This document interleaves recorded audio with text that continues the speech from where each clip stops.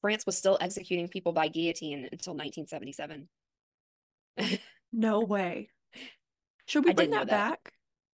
Honestly, it's probably the best way to go. You don't even know what hit you. Right. It's over. I don't know though. Is that one of those situations like when the chicken head, the eyes and everything are still working for a while? Yeah, but you don't know what's happening. Oh, okay. I feel like I, the anticipation would be killer once you get like put up in it.